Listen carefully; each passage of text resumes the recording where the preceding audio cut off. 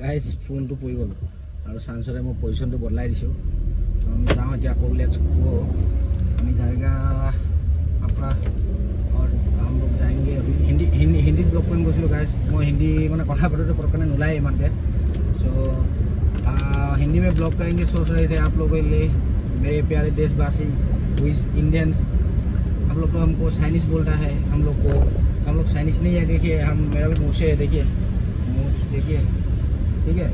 तो हम लोग आसाम से है, नामरूप में नामरूप से। तो आजकल क्या हो रहा है मतलब एसमी सिर्फ़ असम में रह गया है।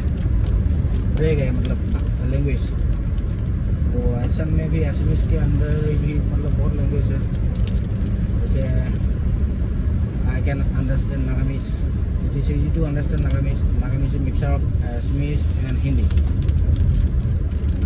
Arunachal में भी तो हिंदी चलता है। सो वहाँ they are my brothers and sisters all उन्होंने अरुणाचल नागालैंड सब तो मेरे भाई है हम तो हम लोग साथ मिल के ही वो वो पुराना आसाम का जो आ, आ, का मतलब मैप बनाया ईस्ट बचा रहा मतलब हम लोग का यूनिटी के वजह से बचा रहा ना। तो हम लोग सब एसमीस बोल रहे बोला करते थे पहले।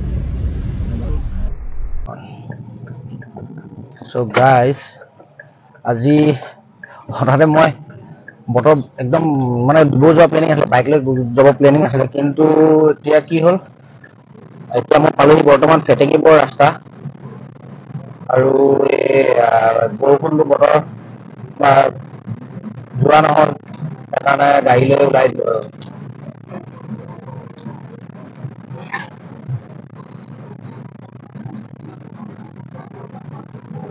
এতিয়া বৰষুণ ঝিপঝিপাই পৰি আছে দেখিছে নহয় চাউণ্ড কমিছে অলপ কমাই দিব ন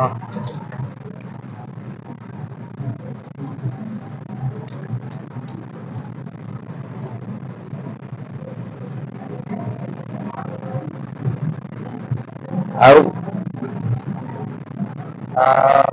ফেটেকি বৰ হৈ ডিব্ৰুগড় যাম আচলতে মোৰ আত্মনিৰ্ভৰ যে মই কৈছিলো ইণ্টাৰভিউত কৰিছিলো আজি মোৰ ট্ৰেইনিং ডে আছে তিনিদিন ট্ৰেইনিং হ'ব। আপোনাৰ আজি ফাৰ্ষ্ট ডে অলপ মই লেটে হৈছোঁ নটা বজাত মাতি আছিলে ফটো লৈ যাব কৈছিলে। আৰু আপোনাৰ ফোন কৰিছিলে আচলতে মোক। মই এতিয়া তালৈকে গৈ আছো তেওঁলোকে ট্ৰেইনিংটো আচলতে ট্ৰেইনিংটো হ'ব আপোনাৰ ইউনিভাৰ্চিটিত আৰু গাইজ ডেস্ক কেম্প মই গাড়ীত লগাম বুলি ভাবিছোঁ ডেস্ক কেম্প কোনটো ভাল হ'ব আপোনালোকে মোক প্ৰিফাৰ কৰিব কৈছে। আচলতে ডেস্ক কেম্প হ'লে ভাল হয় মানে আপোনাৰ কিবা যদি জাৰ্ণিত যদি কিবা হৈ যায় মানে মই আচলতে বাইক গাড়ী চবতে লগাম আৰু। মানে ক'বলৈ ভাল। বা ইঞ্চুৰেঞ্চ ক্লেইমৰ কাৰণেও বহুত ভাল হয়। আচলতে মেইন সেইটোৱে আৰু ইঞ্চুৰেঞ্চ ক্লেইমৰ কাৰণে মেইন ডেস্ক কেম্পটো লাগে আৰু।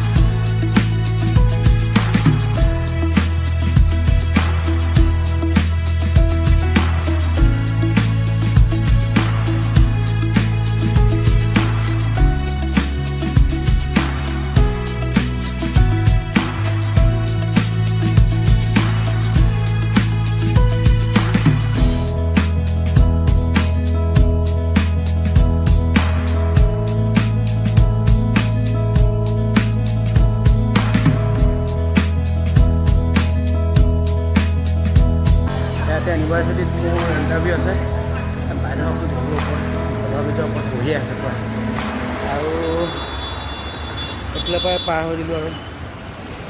চাহ খাইছে ন? এস্কেলেটৰ বনাই থৈছে কিন্তু চলা নাই।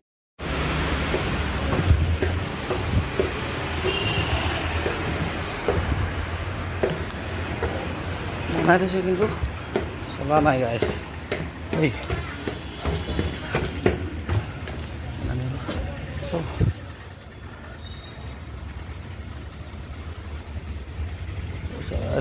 পাই গ'লি আৰু এতিয়া এফালে যাবলৈ আকৌ ৰাস্তা ক্ৰছ কৰিবলৈ। গাইজ মই বেলেগ চাইডে নামি দিলোঁ দেখিছে নাই?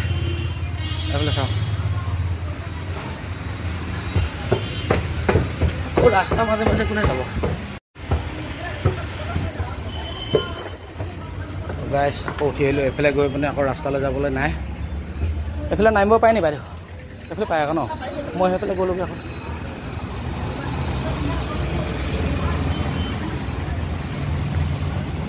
ত' আমি উঠিলোঁ ইয়াত মাইকী মানুহ মাইকী মানুহবিলাক চব বহি আছে খানা খাই আছে ব্ৰেকফাষ্ট চ' এইটো চাইডে আহিলোঁ। আৰু মোৰ ইণ্টাৰভিউলৈ লেট হৈছে গাইজ ত' মই ইণ্টাৰভিউলৈ সোমাওগৈ হা। আপোনালোক গেটখন দেখাই দিম ওপৰৰ পৰা ভিউ পৰা। তাতে পৰা চাব। এই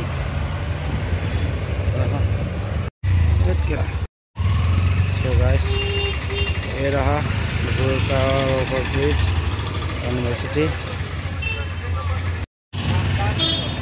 Guys, wah, kamu guys, guys, pakai dulu University. Aru, darah kudim deh.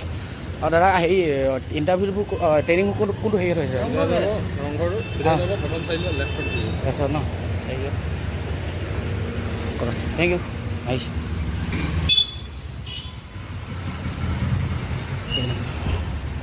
এই আত্মনিৰ্ভৰ চি এম এ কাৰণে গাইজ ইউনিভাৰ্চিটি পঢ়িলোঁ পঢ়িলোঁ মই ঘূৰি ফুৰিছোঁ ডিব্ৰুগড় ইউনিভাৰ্চিটি আগৰ পিনে গৈ লেফ্ট বুলি ক'লে এইটো ছাইডেতো বেলেগ ছাইডে যায় মই অলপ জানো বাৰু ইউনিভাৰ্চিটিখনৰ ত' চ' গাইজ এইখিনি লাইব্ৰেৰী হয় আৰু আগত গৈ। চ' গাইজ চবৰে নামবিলাক ইয়াত লিষ্টত লগাইছে। ইয়াত মোৰ নামটো বিচাৰি লওঁ এতিয়া। মানুহ আমাৰ চব ইণ্টাৰভিউ ট্ৰেইনিঙৰ মানুহ ধেৰ ইয়াত গোট খাই আছে। মই লিষ্টত নামটো বিচাৰি লৈছোঁ গাইজ চ' লিষ্টত বিচাৰি লওঁ হা গাইজ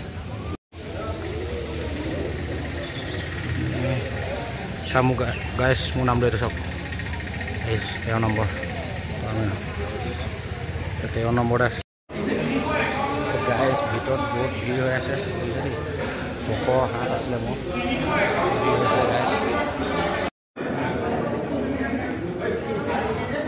গাইজ ভিৰ দেখিছেনে বহুত কিন্তু মই এতিয়া ছশ সাত নম্বৰ পৰিছে এতিয়া ছশলৈকে হেৰি কৰি আছে। ছশ সাতৰ পিছত হ'লে মই লাইনটো লগাম আৰু। ঠিক আছে। চ' গাইজ মই পাই গ'লোহি। ইয়াত দেখিছেনে? চিটত বহি আছে ট্ৰেইনিং হ'ব মোক বস্তু দিছোঁ এইবিলাক। এতিয়া এইখিনি ফিল আপ কৰি আইডেণ্টি কাৰ্ডখন বনাই ল'ম গাইজ দাদা এজন লগ পালোঁ নাহক এতিয়া দাদাজনৰ লগতে বহি ট্ৰেইনিং তিনিদিন আহিব লাগিব ন তিনিদিন আহিবই লাগিব গাইজ ৱাচিং মই অলপ অলপ দেখাই থাকিম। গোটেইখিনি ভিডিঅ' নকৰোঁ বাৰু কিন্তু অলপ অলপ দেখাই থাকিম গাইজ হা। অঁ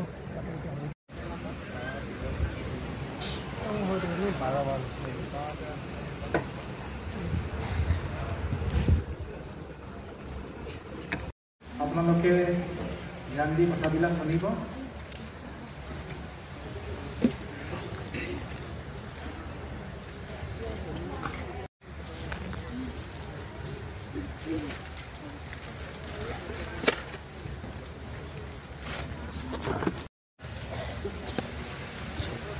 গাইজ এতিয়া আমাৰ হ'ব এতিয়া ছেকেণ্ড মানে second evening second হাফৰ legal requirement for starting a business steps for setting up a business by Arup Kumar Phukan advocate তেওঁ অলপ আমাক এক্সপ্লেইন কৰিব। আগৰটো আপোনালোক ভিডিঅ' দিব নহ'ল চ' অলপ দেৰিকৈ ভিডিঅ' এটা দিম আৰু।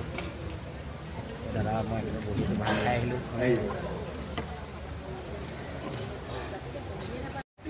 এই অনুষ্ঠানৰ উদ্যোক্তা তথা ডিব্ৰুগড় বিশ্ববিদ্যালয়ৰ ব্যৱস্থাপক মণ্ডলী আজি মোক এই অনুষ্ঠানটোত এজন সমন্বয়কী হিচাপে আমন্ত্ৰণ কৰি অনাৰ বাবে মই সৰ্বপ্ৰথমে তেখেতসকল দুয়োটা অনুষ্ঠানলৈকে মই আন্তৰিক ধন্যবাদ আৰু কৃতজ্ঞতা জনাইছোঁ। আৰু মই এই সুবিধাটো পোৱাৰ কাৰণেও মই আপোনালোকক লগ পোৱাৰ কাৰণে মই যথেষ্ট ভাল পাইছোঁ এই কাৰিকৰী যিটো সত্ৰ এই অনুষ্ঠানটোত মোক যিটো বিষয়ত ক'বলৈ কোৱা হৈছে সেইটো হ'ল legal requirement for starting a business steps for setting up business enterprise মানে এটা ব্যৱসায় আৰম্ভ কৰিবৰ সময়ত আইনগত কি কি বস্তু লাগে আইনগত কি কি বিধান লাগে সেই কথাখিনি আপোনালোকক ক'বলৈ মোক মাতি অনা হৈছে। যি ধৰণে আপোনালোকক কিবা এটা কাম কৰিবলৈ আপোনাক টেন এটা লাগে কিবা এটা কৰিবলৈ আপোনাক নিৰ্দিষ্ট এটা সীমা লাগে সেই সীমাটো আপোনালোকে নিৰ্ধাৰণ কৰিব এটা ঘৰ বনাবলৈ যেনেকৈ পকা ঘৰে হওক বাঁহৰ ঘৰে হওক আপুনি আজিকালিতো বাঁহৰ ঘৰ নাই নাই। গতিকে টিঙৰে ঘৰ বাঁহৰে ঘৰ পকা হয়। এই যি ধৰণে বস্তুটো বনাবলৈ এটা নিৰ্দিষ্ট পৰিমাণৰ ধন এটা নিৰ্দিষ্ট পৰিমাণৰ মূলধন লাগে এই মূলধনৰ সৈতে আপোনাক যিমানখিনি ইটা বালি চিমেণ্ট ৰদ লাগিব সেই ধৰণে আপোনালোকে গোটাই লৈ পেলাই আপুনি ঘৰটো কৰিব পাৰিব। এই এই নিৰ্দিষ্ট পৰিমাণৰ যিটো প্লেন লাগিব আপুনি যিকোনো এটা ব্যৱসায় কৰাৰ কাৰণে আপোনাক এটা ব্যৱসায়িক প্লেন এটা লাগিব আঁচনি এটা লাগিব। হ'ব? এই ব্যৱসায় আঁচনিটো সম্পৰ্কত আপোনালোকক প্লেন কেনেকৈ লাগিব সেই কথাটো মোক সুধিলে মই আপোনালোকক ক'ম। ঠিক আছে আপোনালোকক যিখিনি প্ৰশ্ন লাগে আপোনালোকে মোক সুধিব মই এইখিনি ক'ম। এটা হ'ল প্ৰথমটো হ'ল ব্যৱসায়িক এটা আঁচনি লাগিব। দ্বিতীয়টো হ'ল যে এই ব্যৱসায় যিটো কৰিবলৈ লৈছে সেই ব্যৱসায়টো আপোনালোকৰ চৰকাৰীভাৱে নিৰ্দিষ্টভাৱে আপোনাৰ এইটো ৰেজিষ্ট্ৰেশ্যন হ'ব লাগিব পঞ্জীয়নভুক্ত হ'ব লাগিব। বুজি পালে কথাটো? এই ব্যৱসায়টো যেতিয়া আপুনি আৰম্ভ কৰিবলৈ ল'ব আপুনি ব্যৱসায়টো আৰম্ভ কৰিবলৈ লোৱাৰ লগে লগে আপোনাৰে মোৰে যেনেকৈ নাম এটা আছে মোৰ নাম আজি অৰূপ কুমাৰ ফুকন আপোনালোকৰ প্ৰত্যেকৰে আমাৰ প্ৰত্যেকৰে একো একোটা একো একোটা নাম আছে। আপোনাৰ ব্যৱসায়টোৰ আপুনি এটা নাম এটা দিব লাগিব। এই নামটোৰ সৈতেহে আপুনি পঞ্জীয়নভুক্ত কৰিব লাগিব। ঠিক আছে? ব্যৱসায় লাগিব আপোনাৰ দ্বিতীয়তে আপোনাৰ ৰেজিষ্ট্ৰেশ্যন লাগিব। তৃতীয়তে আপোনাৰ লাগিব আপুনি টেক্সৰ ৰেজিষ্ট্ৰেশ্যন আপুনি কৰিব লাগিব। আপুনি যিকোনো ব্যৱসায় কৰাৰ লগে লগে আপুনি এতিয়া আপোনালোকৰ পেন কাৰ্ড আছে বুলি আপোনালোকে ক'লে PAN card Aadhaar PAN card আৰু আধাৰ কাৰ্ড আপোনালোকে লিংক কৰিলে নাই? লিংক কৰিলে? লিংক কৰিলে যদি আপোনালোকৰ কাৰোবাৰ ইনকম টেক্স ৰিটাৰ্ণ দিয়ে নেকি? আপোনালোকে এইটো ইনকম টেক্স ৰিটাৰ্ণ কৰিব বাৰ্ষিক আয়। বাৰ্ষিক আয়ৰ আপোনালোকে খতিয়ান দিয়ে নে ইনকম টেক্সৰ ডিপাৰ্টমেণ্টত কোনোবাই দিয়ে নেকি আপুনি দিয়ে ইনকম টেক্স ৰিটাৰ্ণ দিয়ে ঠিক আছে আপুনি ইনকম টেক্স ৰিটাৰ্ণ দিয়ে যেতিয়া সেই ৰিটাৰ্ণৰ আপোনালোকৰ এই এই পেন আৰু আধাৰ কাৰ্ডৰ ওপৰত আপোনালোকৰ এই বস্তুটোৰ আপোনালোকৰ যিখন ফাৰ্ম হ'ব যিটো আপোনাৰ ব্যৱসায় হ'ব সেইটোৰ ৰেজিষ্ট্ৰেশ্যন সেই নামটোৰে সৈতে আপোনালোকে ৰেজিষ্টাৰ কৰিব লাগিব মই ৰেজিষ্ট্ৰেশ্যন কেনেকৈ হ'ব সেইটো আকৌ মই কৰিম আপোনালোকে মোক মনত লৈ দিব মই ৰেজিষ্ট্ৰেশ্যনটো কেনেকৈ হয় মই কৰিম ক'ম। দ্বিতীয়টো হ'ল টেক্স ৰেজিষ্ট্ৰেশ্যন আপোনালোকে এইটো দিয়াৰ লগে লগে আপুনি চৰকাৰীভাৱে আপুনি দায়বদ্ধ হ'ব লাগিব যে আপোনালোকে আপোনালোকে চৰকাৰক নিৰ্ধাৰিত পৰিমাণৰ এটা টেক্স সেইটো জি এছ টিয়ে হওক বা এছ এছ টিয়ে হওক আপোনালোকে সেই টেক্সৰ ফৰ্মখন আপুনি ফিল আপ কৰি আপুনি দিব লাগিব। I N G S T registration obtained a good and service taxpayer identification number GSTN EIN goods and service taxpayer identification number GS এতিয়া এই বজাৰ চজাৰ যিকোনো দোকানতে দেখিব G S T I N বুলি এটা নম্বৰ দিয়ে আপোনালোকৰ ফাৰ্মখনৰ নামখনো আপোনাৰ ব্যৱসায় ভিত্তিটো আপোনাৰ যিটো হ'ব সেইটো আপোনাৰ G S T I N number এটা থাকিব লাগিব দ্বিতীয়টো হ'ল চতুৰ্থটো হ'ল ৰ'ব চতুৰ্থ নহয় পঞ্চমটো হ'ল বেংক একাউণ্ট আপোনাৰ নিজৰ নামত থকা বেংক একাউণ্টটো নহ'ব। আপুনি সেই ব্যৱসায় যিটো ব্যৱসায় কৰিলে যিটো ব্যৱসায়ৰ আৰম্ভণি কৰিলে যিটো ব্যৱসায়ৰ নাম দিলে সেই নামটোৰ আধাৰত আপুনি এটা বেংক একাউণ্ট খুলিব লাগিব। এই বস্তুকেইটা লগত আপোনালোকে আৰু আৰু কেইটামান বস্তু ল'ব লাগিব সেইটো হ'ল ট্ৰেড লাইচেঞ্চ ল'ব লাগিব। যদিহে আপোনালোকে যি ঠাইত ব্যৱসায় কৰোঁ বুলি ভাবিছে সেই ঠাইখন সেই জেগাডোখৰ যদি কোনোবা পৌৰসভাৰ এলেকাৰ অধীনত হয় বা পঞ্চ- পঞ্চায়তৰ এলেকাৰ অধীনততো হ'বই পৌৰসভাই হওক পঞ্চায়তৰে হওক এলেকাৰ অধীনত আপুনি এখন ট্ৰেড লাইচেঞ্চ ল'ব লাগিব। লিখিত ট্ৰেড লাইচেঞ্চ এখন আপুনি ল'ব লাগিব। তাৰপিছত আপুনি সেই যিটো ট্ৰেড লাইচেঞ্চ ল'ব সেই ট্ৰেড লাইচেঞ্চৰ লগত আপুনি শ্বপছ এণ্ড এষ্টাব্লিছমেণ্ট ৰেজিষ্ট্ৰেশ্যনৰ লাইচেঞ্চ এখন ল'ব লাগিব। আপুনি যদিহে ব্যৱসায়টোৰ পৰা আপুনি কিবা ধৰণৰ বস্তু আপুনি যিটো যি বস্তুকে আপুনি উৎপাদন নকৰক কিয়? ছাগলীয়ে হওক গাহৰিয়ে হওক কুকুৰাই হওক গৰুৱে হওক গাখীৰে হওক। আপুনি যি উৎপাদন নকৰক কিয় সেই উৎপাদনৰ বিনিময়ত আপুনি যদি দোকান আকাৰে আপুনি খেতি দিয়ে তেতিয়াহ'লে আপুনি দোকান আকাৰ জি এছ টি আইনৰ লগত আপুনি শ্বপছ এণ্ড এষ্টাব্লিছমেণ্ট ৰেজিষ্ট্ৰেশ্যন লাইচেঞ্চৰ কাৰণে আপুনি আপুনি আবেদন কৰি আপুনি সেই আবেদনখন ল'ব লাগিব এই ৰেজিষ্ট্ৰেশ্যন নম্বৰটো ল'ব লাগিব এই বস্তুকেইটা লৈ পেলাই আপোনালোকে এটা ব্যৱসায় আৰম্ভ কৰিব পাৰিব। এতিয়া প্ৰথম কথা হ'ল যে ৰেজিষ্ট্ৰেশ্যনটো আপুনি কেনেকৈ কৰিব? যদি প্ৰথম আপোনালোকে নাম এটা ভাবি লওক আপোনাৰ ফাৰ্মখনৰ আপোনাৰ ব্যৱসায়টোৰ এটা নাম এটা ভাবি লওক সেই নামটো আপুনি দি পেলাই আপুনি প্ৰথমতে ৰেজিষ্ট্ৰেশ্যনটো আপুনি কৰিব লাগিব এই ধৰণে। যদিহে আপুনি চ'ল প্ৰভাইডৰশ্বিপ হয় যদি আপুনি গাইগুটীয়াভাৱে আপুনি ব্যৱসায়টো কৰে তেতিয়াহ'লে আপুনি চ'ল ৰেজিষ্ট্ৰেশ্যনৰ কাৰণে আপুনি যিটো ট্ৰেড লাইচেঞ্চ ল'ব সেই ট্ৰেড লাইচেঞ্চৰ কাৰণে আপোনাক এখন এফিডেভিট দৰকাৰ হ'ব যে ময়ে এই ব্যৱসায়টো মই মালিক ময়ে চ'ল অ'নাৰ মই কিছুমান শব্দ ইংৰাজীত কৈ যাম যদি আপোনালোকৰ অসুবিধা হয় বুজিটো পায়ে তথাপিও যদি বুজাত কিবা অসুবিধা হয় মোক সুধিব মই উত্তৰটো দিম চ'ল ৰেজিষ্ট্ৰেশ্যন মানে ইংৰাজীতকৈ অসমীয়াতকৈ ইংৰাজীটো ক'বলৈ অলপ সহজ হয় গতিকে চ'ল ৰেজিষ্ট্ৰেশ্যনৰ কাৰণে আপোনালোকে এখন এফিডেভিট কৰি দিবলগীয়া হ'ব যদিহে আপুনি ব্যৱসায়টো অংশীদাৰিত্বত কৰে আপুনি দুই তিনিজন দুজন- দুজনতকে এজনতকে অধিক দহজনতকে কম মানুহে যদি আপোনালোকৰ মানুহে লগ লাগি পেলাই যদি ব্যৱসায়টো কৰোঁ বুলি ভাবে তেতিয়াহ'লে আপোনালোকে এইটো ফাৰ্ম ৰেজিষ্ট্ৰেশ্যন কৰিব লাগিব। পাৰ্টনাৰশ্বিপ ফাৰ্ম ৰেজিষ্ট্ৰেশ্যন কৰিব লাগিব। পাৰ্টনাৰশ্বিপ ফাৰ্ম ৰেজিষ্ট্ৰেশ্যন কৰিবৰ কাৰণে পাৰ্টনাৰশ্বিপৰ এখন ডিড এখন কৰিব লাগিব। পাৰ্টনাৰশ্বিপ ডিড বুলি কয়। অংশীদাৰিত্বৰ এখন ডিডৰ অসমীয়াটো কি হ'ব? দলিল। দলিল নহ'ব। দলিলটো নহ'ব। পাৰ্টনাৰশ্বিপ ডিড আপোনালোকে লিখি থওক লিখি থ'লে এইখিনি এই বস্তুটো দৰকাৰ হ'লে মোক সুধিব। মই ক'ম। পাৰ্টনাৰশ্বিপ ডিড এখন আপোনালোকে কৰিব লাগিব। পাৰ্টনাৰশ্বিপ ডিডখন আপোনালোকে কৰিলেই নহ'ব। পাৰ্টনাৰশ্বিপ ডিডখন আপোনালোকে ৰেজিষ্ট্ৰেশ্যন কৰিব লাগিব। ৰেজিষ্ট্ৰেশ্যন অফ ছ'চাইটিজ এক্টৰ আণ্ডাৰত registration of societies registrar of societies যৰ ওচৰত গুৱাহাটীত আছে সেই অফিচটো গুৱাহাটীত সেইটো ৰেজিষ্টাৰ কৰিব লাগিব। এতিয়া মোক সোধক যে গুৱাহাটীত ৰেজিষ্টাৰটো কৰিবলৈ কিয় দৰকাৰ কৰিলে গুৱাহাটীত ৰেজিষ্টাৰটো নকৰিলে কি দৰকাৰ কি অসুবিধা হ'ব? যদি গুৱাহাটীত আপোনালোকে ফাৰ্মখন ৰেজিষ্টাৰ নকৰে তেতিয়াহ'লে সেই ফাৰ্মখনে যদি কাৰোবাৰ পৰা পইচা পাবলগীয়া থাকে কিবা কিবা গোচৰ ৰুজু কৰিবলগীয়া হয় তেতিয়াহ'লে প্ৰত্যেকজন অংশীদাৰী ব্যৱসায়ীয়ে প্ৰত্যেকজন অংশীদাৰী ব্যৱসায়ীয়ে এই গোচৰটোত পঞ্জীয়নভুক্ত হ'ব লাগিব। যদি ফাৰ্মখন ৰেজিষ্টাৰ হয় তেতিয়াহ'লে অকল ফাৰ্মখনে গোচৰটো ৰুজু কৰিব। লাগিব ইয়াৰ পিছত আপোনালোকে কোম্পানীলৈ যাব পাৰে কিন্তু এতিয়া সদ্যহতে আপোনালোকে কোম্পানী ৰেজিষ্ট্ৰেশ্যনলৈ যাব নালাগে আপোনালোকে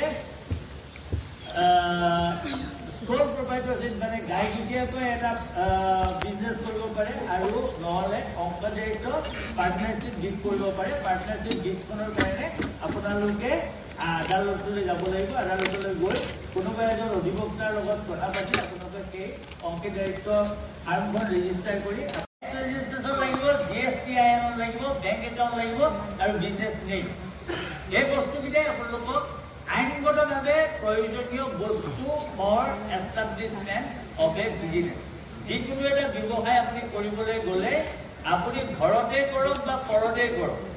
আপুনি য'তে নকৰক। এতিয়া আপোনালোকে বহুতে এই অসম চৰকাৰে তাঁতশালৰ কাৰণে বহুত বহুত শিপিনীক বহুত সুবিধা দিছে। তাঁতশালৰ আপোনালোকে প্ৰজেক্টটো আপোনালোকে ল'ব পাৰে। তাঁতশালৰ কাৰণে আপোনালোকে এই হেণ্ডলুম শালৰ মোৰ নিজৰ যদি খুৰীয়ে হেণ্ডলুম শালৰ কৰিবলৈ তেখেতে যথেষ্ট টকা ইনকম কৰে। আৰু শুনি ভাল পাব যে আপোনালোকে বিস্কুট ফেক্টৰী ল'ব পাৰে আপোনালোকে মই সেইটো ক্ষেত্ৰত মই অভিজ্ঞ কাৰণ মানে ঊনৈছশ আশী একেলগে বিৰাশী চনত তিনি বছৰত মই নিজে বিস্কুট ফেক্টৰী খুলি বিস্কুটৰ পৰা বহুত প্ৰফিট কৰিছোঁ। কিন্তু দুৰ্ভাগ্যৰ কথা যে যেতিয়া বিস্কুট বনোৱা মানুহ এই বেংগলৰ পৰা মানে চিলেটীয়া মানুহ অহাৰ কাৰণে তেওঁলোকক এই আন্দোলনৰ সময়ত তেওঁলোকক পঠিয়াই দিয়া হ'ল। গতিকে মোৰ বিজনেছটো টপ কৰিল। নহ'লে মই এটা ভাল বিজনেছ কৰিব পাৰিলোঁ। গতিকে আপোনালোকে বিজনেছ কৰাৰ অৱকাশ বহুত আছে। চৰকাৰে আপোনালোকক যিখিনি সুবিধা দিছে আইনগত যিখিনি বস্তু থাকে এই বস্তুখিনিৰ কথা এই ডকুমেণ্টছখিনিৰ কথা মই আপোনালোকক কৈছোঁ।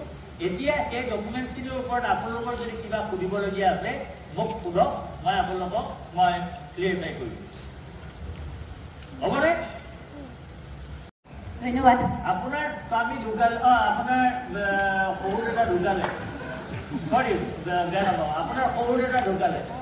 আপোনাৰ শহুৰ দেউতাৰ নামত ম্যাদী পত্তা নাই আপোনাৰ শহুৰ দেউতা নাই নাই বহি পেলাই কৈছো শহুৰৰ ম্যাদী পতা আছিলে তেওঁ ঢুকোৱাৰ কাৰণে মানে হাজবেণ্ডৰ নাই। মই দুইটা বস্তু অঁ অঁ।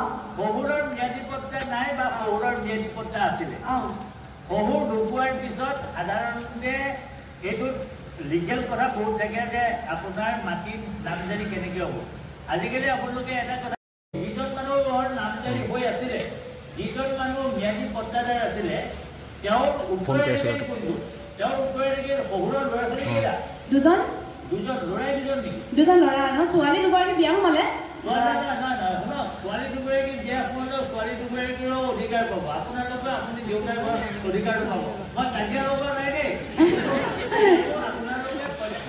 প্ৰত্যেকগৰাকী মহিলাই য'ৰ পৰা- পৰাই বিয়া হয় নাহক কিয়? আপুনি আপোনাৰ দেউতাৰ সম্পত্তিৰ অধিকাৰ আপুনি পাবই।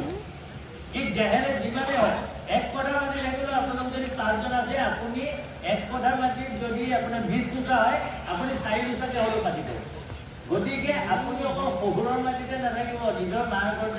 মই কাজিয়া লগোৱা নাই মোৰ কথাটো কৈছোঁ। কথাটো হ'ল কি যে আপোনাৰ এতিয়া দেউতা অ, শহুৰ দেউতা ঢুকালে।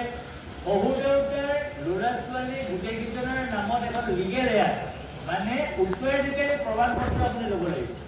আপোনালোকক যদি প্ৰয়োজন হয় মই সেইটো কৈ দিম। কৈ দিম কি কি লাগিব? দিম নেকি?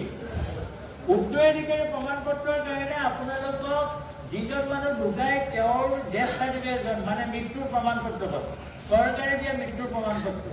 তাৰপিছত আপোনাৰ গাঁৱৰ যদি পঞ্চায়তৰ অধীনত হয় গাঁও আপোনাৰ গাঁও পঞ্চায়তৰ আপোনাৰ গাঁৱৰ গাঁওবুঢ়াজনৰ এতিয়া গাঁওবুঢ়া বুলি নকয় গাঁও প্ৰধানজনৰ পৰা এখন লিগেল এয়াৰ চাৰ্টিফিকেট লাগিব। তেওঁ এখন চাৰ্টিফিকেট দিবই। যে তেওঁ যিহেতুকে তেওঁ গাঁও প্ৰধান সেইখন গাঁৱৰ কোনজন মানুহ মৰিলে তেওঁ উত্তৰাধিকাৰী কোন কোন আছে সেই কথা লিখি দিবই। সেই দুইখনলৈ আপোনালোকে এখন শপতনামা দিব লাগিব। আকৌ উকিলৰ ওচৰলৈ আপোনালোকে আকৌ শপতনামা এখন দিবলৈ আপোনালোকে আদালতলৈ আহিব লাগিব। এজন অধিবক্তাক ধৰি আপুনি এখন ওকালতনামা শপতনামা দিলে তাৰ লগত আপোনাৰ দুকপি ফটো আৰু যিজন ব্যক্তিয়ে আবেদন কৰিব তেওঁৰ আধাৰ কাৰ্ড আৰু ভোটাৰ কাৰ্ডখন এই বস্তুবিলাক মনত ৰাখিব যেতিয়া আপোনালোকে দৌৰা দৌৰি কৰি থাকিব নালাগে। এই বস্তুকেইটা লৈ পেলাই আপুনি প্ৰথমতে আবেদন কৰিব আবেদনত উল্লেখ থাকিব আপুনি ত্ৰিছ দিনৰ ভিতৰত আপুনি এই উত্তৰাধিকাৰী প্ৰমাণ পত্ৰখন পাব। হ'ল কথাটো আপুনি উত্তৰাধিকাৰী প্ৰমাণ পত্ৰখন যদিও ত্ৰিছ দিনৰ কাৰণে দিয়ে কিন্তু পোন্ধৰ দিন বিছ দিনৰ ভিতৰতে আপুনি উত্তৰাধিকাৰী প্ৰমাণ পত্ৰখন আপোনালৈ আহিব। আপুনি উত্তৰাধিকাৰী প্ৰমাণ পত্ৰখন পোৱাৰ পিছত এই উত্তৰাধিকাৰী প্ৰমাণ পত্ৰ আৰু আপুনি দেউতাৰ ডেথ চাৰ্টিফিকেটখনৰ সৈতে আপুনি বসুন্ধৰা এতিয়া যিটো বসুন্ধৰা যিটো চলি আছে তাত গৈ আপুনি নিৰ্দিষ্টভাৱে আপুনি অনলাইনত আবেদন কৰিলে আবেদনৰ ওপৰত ভিত্তি কৰি মণ্ডলৰ পৰা এটা ৰিপৰ্ট লৈ আপোনালোকৰ নামটো ওলাব। কিন্তু এটা কথা যে এই নামটো উঠাওঁতে প্ৰচিডিউৰৰ কাৰণে আপোনাৰ কিছু সময় দৰকাৰ মানে দুইৰ পৰা তিনিমাহ সময় দৰকাৰ। কিন্তু আপুনি এজনী এগৰাকী উদ্যোগী ব্যক্তি হিচাপে আপোনাক ইমিডিয়েটলি আপোনাক লাগে। তেনেকুৱা ক্ষেত্ৰত আপুনি দুটা সুবিধা ল'ব পাৰে এটা হ'ল কি যে সেই যিহেতুকে দেউতা উত্তৰাধিকাৰী দেউতাৰ আপোনাৰ শহুৰৰ নামত ম্যাদী পত্তা এখন আছিলে সেই পত্তাখনৰ জমাবন্দী কপি উলিয়াই লৈ আপোনাৰ মা আৰু আপোনাৰ স্বামীয়ে সেই পত্ৰাখনৰ ওপৰত আৰু আপোনাৰ ননদ হয় নে জেঠাহু হয় তেখেতসকলে এখন এফিডেভিট যদি কৰি দিয়ে যে আপোনাৰ নামত যে তেখেতে যদি এনেকুৱা এটা ব্যৱসায় এই মাটিডোখৰত কৰে তেতিয়াহ'লে আমাৰ কোনো আপত্তি নাই। মোৰ শাহু নাই ছাৰ। শাহু নাই? শাহু শহু দুইজন নাই। অকলে বৰ্জনা আছে। তেতিয়াহ'লে ঠিক আছে। সেই বৰ্জনা আছে যিকেইজন আছে যিকেইজন আছে তেওঁলোকে আপোনাৰ স্বামীৰ নামটো লিখি তেখেতৰ পৰিবাৰ অমুকে যদি এই মাটিডোখৰত ইমান টুকুৰা মাটিডোখৰ বুলি কৈ দিলে নহ'ব মাটিডোখৰ এটা এটা নিৰ্দিষ্ট সীমা থাকিব। আপুনি ব্যৱসায়টো কৰিবলৈ আপোনাক কিমান পৰিমাণৰ মাটি ধৰিব? আপোনাক এক কথা লাগে নে এবিঘা লাগে? আপুনি সমানটো চাই লৈ পেলাই কৰিব। গতিকে সেই সমান পৰিমাণৰ মাটিখিনি যদি এখেতে কিবা ব্যৱসায় এটা কৰোঁ বুলি কয় তেতিয়াহ'লে আমাৰ আপত্তি নাই। তাতো এটা কথা যদিহে আপোনাৰ বৰজনাকে বোলে নাই নিদো তোক তই তই নিজে কৰা কৰি থাক মই আমি আমাৰ ফালে কৰিম কৰিব পাৰে।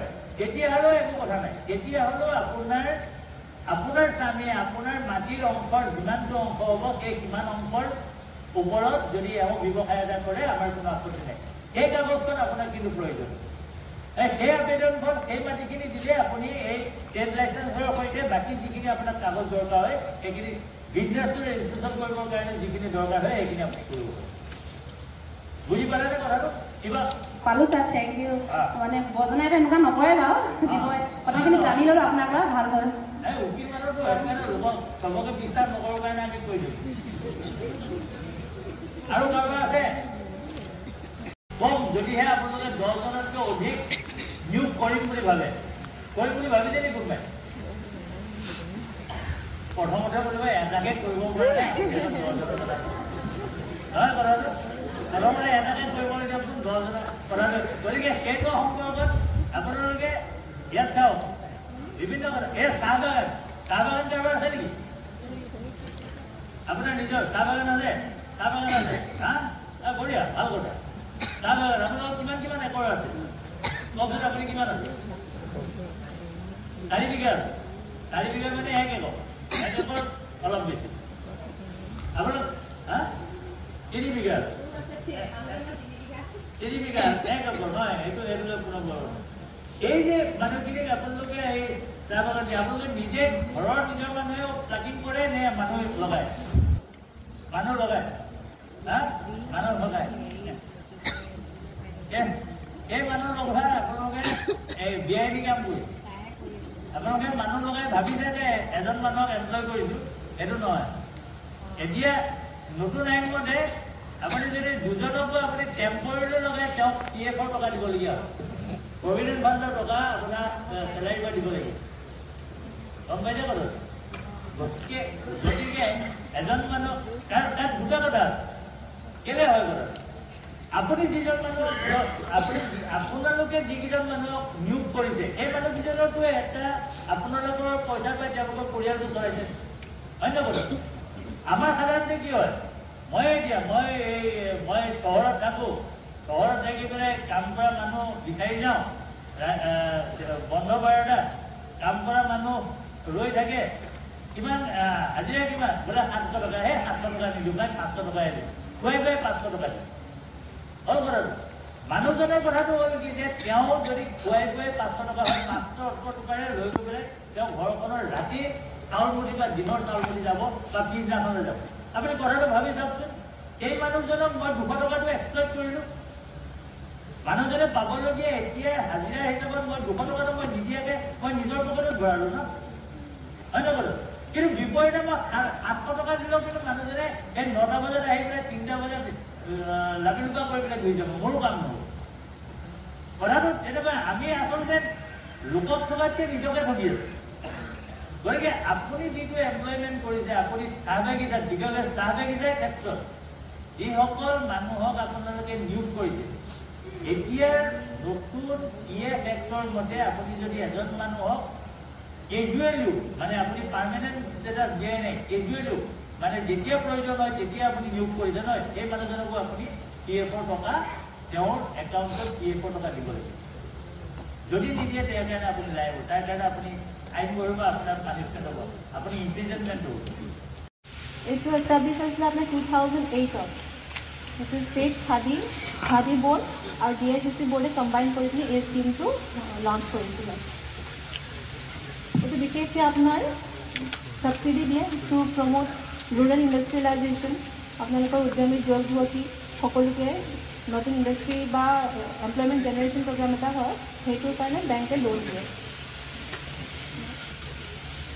P M G T stands for prime minister employment generation programme আৰু তাৰ গ'লটো হৈছে to increase the wage earning capacity of small scale industries artisans group of micro' enterprises যোনে অকণমান মানে নিজৰ এটা আইডিয়া আছে কিন্তু ইমপ্লিমেণ্টেশ্যনৰ কাৰণে আপোনালোকৰ ফিনান্স দৰকাৰ হৈছে। সেইটোৰ ছাপৰ্ট ছাপৰ্টৰ কথা কৈছে। ব্ৰেণ্ডিং বা মাৰ্কেটিং ছাপৰ্ট আপোনালোকক ফাইনেলি এই জাৰ্ণিটোত ব্ৰেণ্ডিং আপোনালোকে যদি ব্ৰেণ্ড নিজৰ ব্ৰেণ্ড ব্ৰেণ্ড নাম এটা দিব বিচাৰিছে তাৰ কাৰণে ছাপৰ্ট ছিষ্টেম পাই যাব মাৰ্কেটিং ছাপৰ্ট পাই যাব। Support for strengthening of the institution already existing ইউনিটৰ কাৰণে ইউনিট যদি চলি আছে অকণমান ছাপৰ্ট মানে the funding needs of non-corp non-corporate small business sectors আৰু ষ্টাৰ্টআপৰ কাৰণে এণ্টাৰপ্ৰেনাৰ্ছৰ কাৰণে সেইটো স্কিমটো তিনি ভাগত ভাগ কৰা হৈছে শিশু কিশোৰ আৰু তৰুণ শিশুটো হ'ল আপোনালোকৰ পঞ্চাছ হাজাৰলৈকে যদি কোনোবা লোন এভেইল কৰিব পাৰে সেইটো শিশু মুদ্ৰা শিশু স্কিমত কৰিব পাৰে কিশোৰটো হ'ল পঞ্চাছ হাজাৰ এটকাৰ পৰা পাঁচ লাখলৈকে কিশোৰ স্কিমটো এভেইল কৰিব পাৰে আৰু তাৰ ওপৰতো পাঁচ লাখৰ পৰা দহ লাখলৈকে মুদ্ৰা লোনটো দহ লাখলৈকে হয়। সেইটো তৰুণ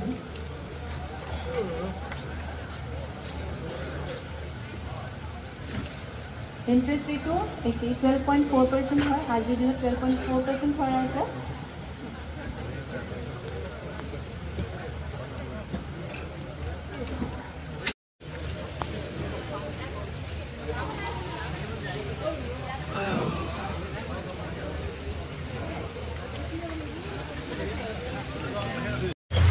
চ' গাইজ এতিয়া আমাৰ ট্ৰেইনিং খতম হৈ গ'ল আৰু আমি ঘৰা গৈ আছোঁ মই এতিয়া। গাড়ী তাত পাৰ্ক কৰি দিছোঁ। আৰু এতিয়া গৈ আছোঁ ঘৰা গৈ ঠিক আছে গাইজ এইফালে আকৌ তোৰ হেৰিয়ত ইমান ধুনীয়া ধুনীয়া ছোৱালীবোৰ আছে দেখিছা নাই? চ' গাইজ আজি হৈ গ'ল। কাইলৈ আকৌ আহিব লাগিব ইয়াত। আৰু এদিনৰ ট্ৰেইনিং হ'ব। কাইলৈ আকৌ আহি কাম ফাৰি কৰিব লাগিব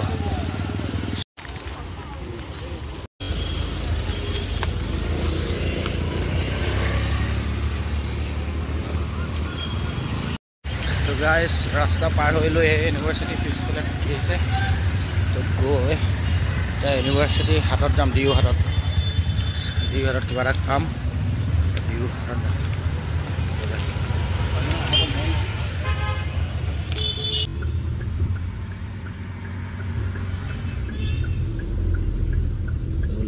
গাইজ আমি এতিয়া ইউনিভাৰ্চিটি পৰা ওলাইছোঁ। ইউনিভাৰ্চিটি গৈ হাইৱে ওচৰতে আছে।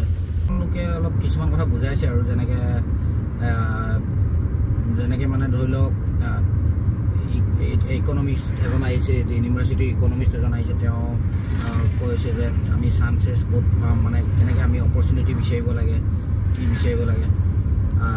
তেওঁ বুজালে। তাৰপাছত নেক্সট পেজত আমাক লিগেল মানে লিগেলৰ এজন এডভকেট আহিলে আমাৰ senior advocate Arup Kumar R Phukan. তেওঁ আহিলে তেওঁ আমাক কোম্পানীৰ লিগেলিটিছবিলাক অলপ বুজালে লিগেল মানে কি কি দৰকাৰ হ'ব আমাৰ মানে কেনেকৈ আমি ধৰি লওক প্ৰপাৰেটৰ হওক বা পাৰ্টনাৰশ্বিপ দি কি কৰ কাৰণে দৰকাৰ হয় জি এছ টি কেলৈ দৰকাৰ হয় পেন টেক্স এইবিলাক অলপ বুজালে তাৰপাছত আজি ফাৰ্ষ্ট ডে আৰু এটা হেৰি হ'ল আপোনাৰ খানা তাতে দিছে মই তাতে খালোঁ অলপ good food food was good veg food তাৰপাছত উচকে বাদ হিন্দী মে চুৰু কৰে কিয়া उसके बाद हम लोग का वो अ, bank bank S B I bank से कुछ आए মানে এছ বি আই বেংকৰ পৰা আহিলে তেওঁলোকে আমাক লোন কি কি আছে মানে P M P G Y মুদ্ৰা লোন আৰু P E F M E নেকি এনেকৈ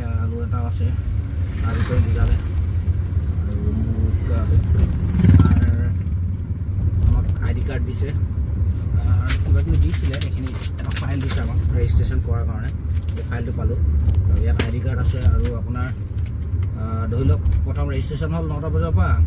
তাৰপাছত আপোনাৰ ইলেভেন আৰু টুৱেল্ভ ফৰ্টি ফাইভৰ পৰা আপোনাৰ ধৰি লওক business opportunity how to identify business opportunity by professor Dev Kumar Chakraborty তেওঁ আমাক ডিপাৰ্টমেণ্ট অফ ইকনমিক্সৰ হয়। তেওঁ আমাক বুজালে। যে বিজনেছ অপৰচুনিটিছ কেনেকৈ আইডেণ্টিফাই কৰিম আৰু তাৰপাছত আপোনাৰ লিগেল বিষয়ে legal requirement for starting a business steps for setting up a business মানে ধৰি লওক এটা কি কি লিগেল ফৰ্মেলিটিজ কৰিব লাগে এটা বিজনেছ এষ্টাব্লিছ কৰিব 300 meters, turn left. সেইটো বুজালে তাৰপাছত আপোনাৰ তাৰপিছত আকৌ আমাৰ তিনিটামান বজাত এই বেংকৰ মানুহবিলাকে বুজালে যে কি কি স্কিম আছে যেনেকৈ M S M E credit Mudra loan P M E G P scheme P M F M E চাম আৰু চি এইটো নেক্সট লেফ্ট লেনা আমাক